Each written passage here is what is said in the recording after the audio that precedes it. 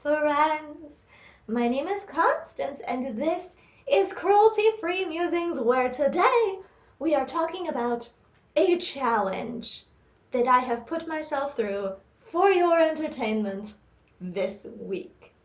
So, the premise of the challenge is that I am going to wear less makeup. This may not sound like a challenge, but I tend to have two frames for makeup, which is nothing and all out. And I don't really have a skill set of anywhere in between. So this week was kind of an intentional, accidental making myself wear less makeup so that I could become more comfortable with how my features look with less makeup on them and so that I could develop my skills a little bit into unknown territory. So let's begin. Day one. Day one was the inspiration. I was getting ready as usual and I decided to just take less time with my makeup. So I threw some stuff on my face and then I quit. And then I wound up looking like this. And the main feature of this makeup look, I would say, is no mascara, which is very weird for me. A very minimal makeup look, for me, still has mascara. Lots of people don't feel dressed without their brows. Me, I have fairly nice brows. It doesn't. Today is actually the only day this week that I have worn anything in my brows. I generally feel okay with my brows as they are. But boy howdy, my lashes disappear into nothing. They're basically blonde. So I load them up with mascara. I want volume. I don't really need length. They already hit my eyebrows. But I want volume and I want darkness on my lashes to define my eyes. So on this day, this first day, I felt strange until about noon because I had this very pretty light eye look and then no definition to my eyes at all because I didn't have on mascara. And the as I was thinking about it and how this um, how this challenge video came to be, I was thinking about it while I was in the bathroom, staring at my weird face with no mascara but but eye makeup on. And I decided that I am not okay with not being okay with how I look. So I decided to push my limits and my comfort zone with how I put on makeup. So this was me attempting to feel more okay with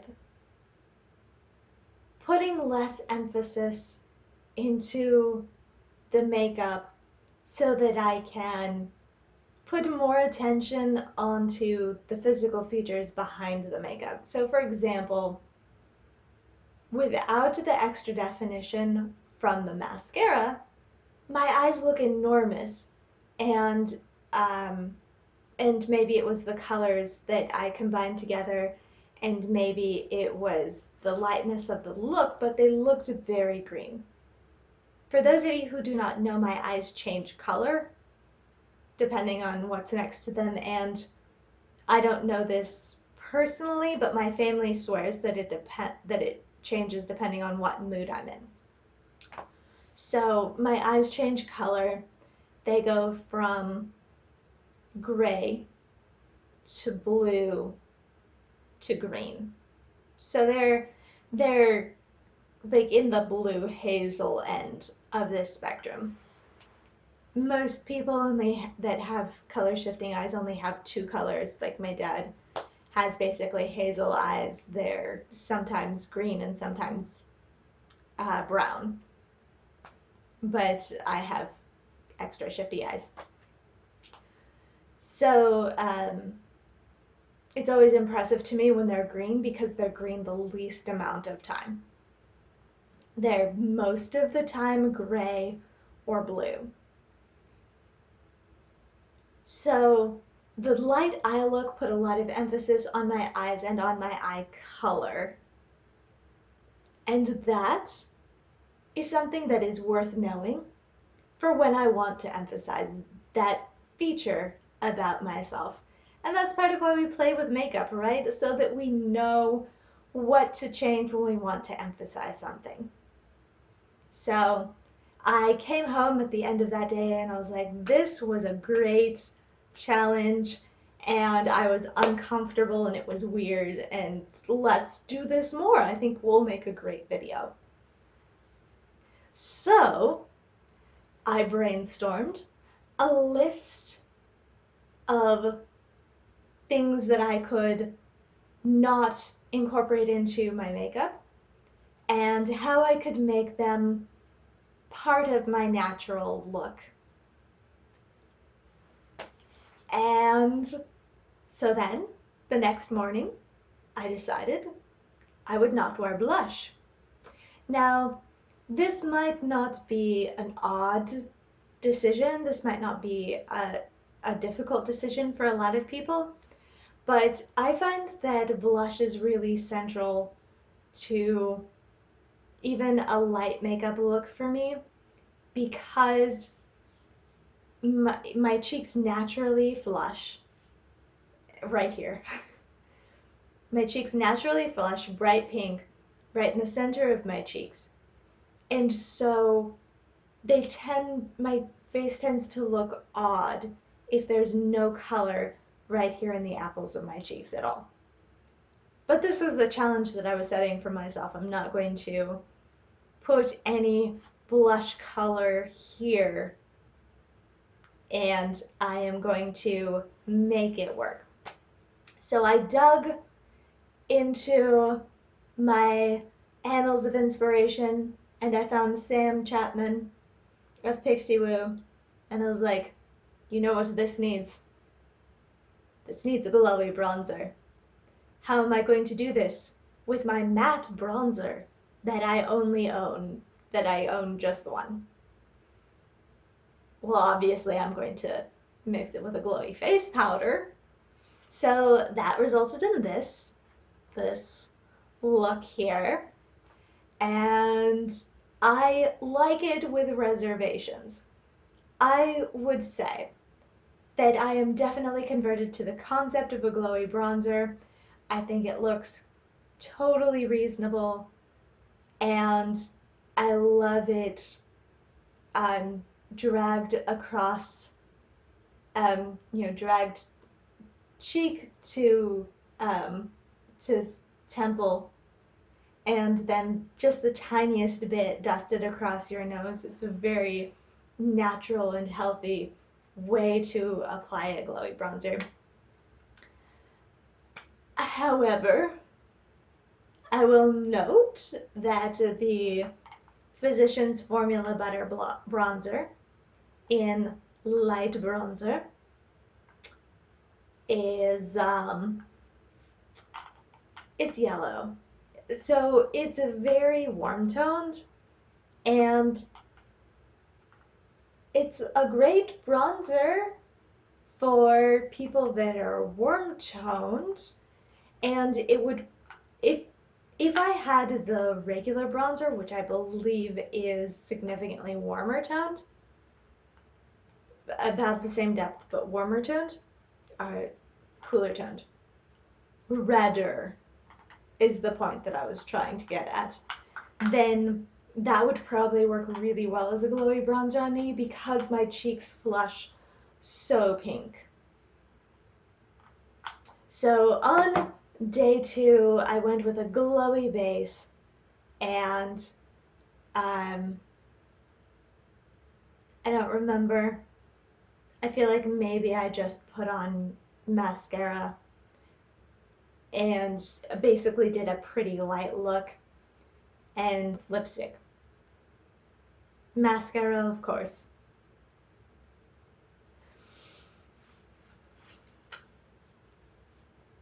So the the general concept is glowy bronzer, great for summer, great for looking sun-kissed. Um, for me, for personal application, if I were going to make this bronzer specifically into a glowy bronzer again, I would pull out my Moonchild palette and I would mix it with Pink Heart because that is the singular pink highlight that I own. And that I think would give it enough warm reflect, cool reflect, that would give it enough pinkness for it to look reasonable on my very pink cheeks because it did look it looked a little bit like mud not a lot but it just it definitely looked like bronzer sitting on top of my face. It did not look like my actual just face. So, day three. Day three. Day three was no concealer. And because I frequently use concealer as a base product, just like in my entire face, I took that to mean I'm not going to wear any complexion corrector at all.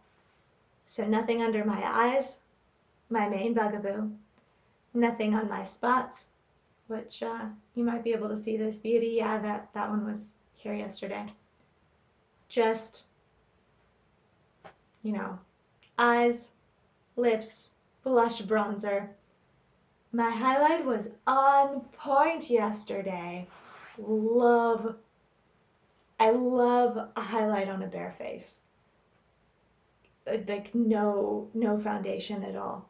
I think that it's just one of the best things. It, it just makes your skin look so healthy to have this you know, normal skin canvas, and then, oh, there's this streak of just glow on the top of your cheekbone. It, it was my favorite thing about that look. And um, I think that the picture that I am putting here is the one with a, a prominent red spot right here by the corner of my mouth. But I'm catching my highlight, and I do not care. You know, freckles out, spots out, dark circles out. Who cares? We're beautiful in our skin. I, I would say, actually, that the no concealer day is the easiest one for me to pull off because I am very comfortable with my skin. I have never been bothered by acne. Like, it doesn't mentally bother me that I have acne. I just, I am like, if I'm wearing makeup, it's not to cover up spots. It's just ever. Like, that's never my intention because they don't bother me. I don't feel insecure about my freckles or about my spots. I feel a little bit insecure about my, my red nose and my dark circles. So wearing no concealer is a challenge in that regard. But this is this is my easiest day because I really like the way that my skin looks completely uncorrected. Um, so that was Wednesday, and then today, the biggest challenge for last. Can you guess? Can you guess? Children, I am wearing no lipstick. I am wearing no lip gloss. I am wearing no color at all. I let myself take my overnight lip balm to work so that I could have something on my lips during the day. But I didn't apply enough of it to get the, the glossy look. It's the Laneige Lip Sleeping Mask, so you can legit wear it as a gloss. But um, I did not wear it as a gloss. I wore it as a balm, and I took a little bit and I rubbed it into my lips just to make me more comfortable. Because my lips, I wear um, lipstick and lip gloss in part because my lips are perpetually chapped. Um, I should probably get an SPF, an SPF lip balm because I'm pretty sure that they're just always sunburned. Like just a little bit.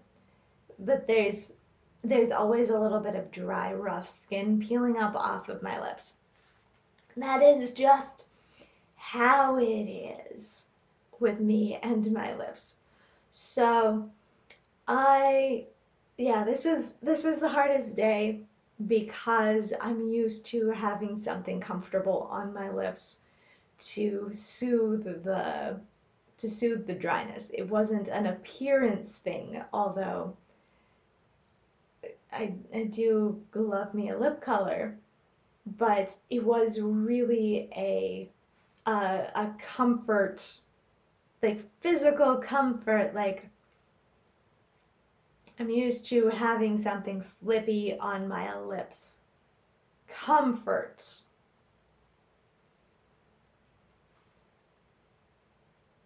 So, to sum up what this video was about, this was about getting comfortable in my skin adding some tools to my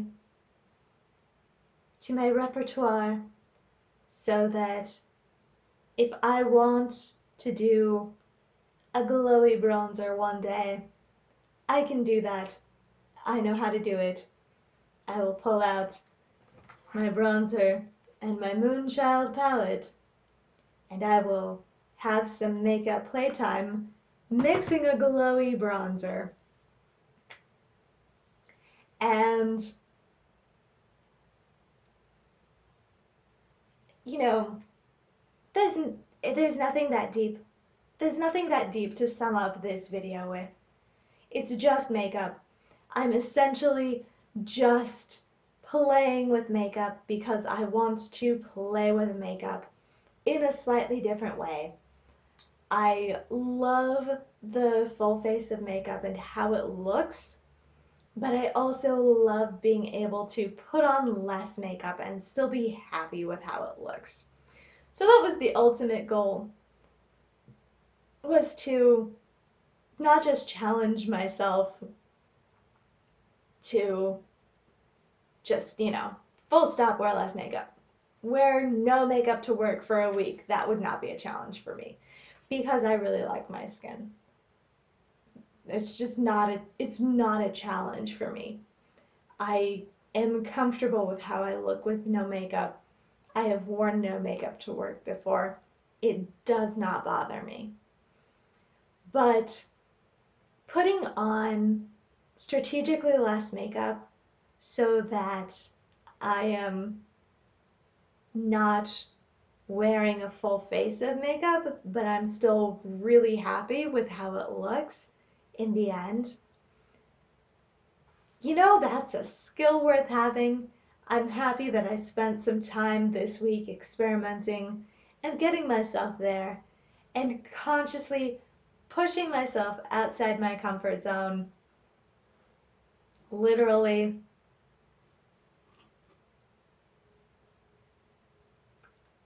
My lips are so chapped. So chapped. I hope you've enjoyed or learned something or both.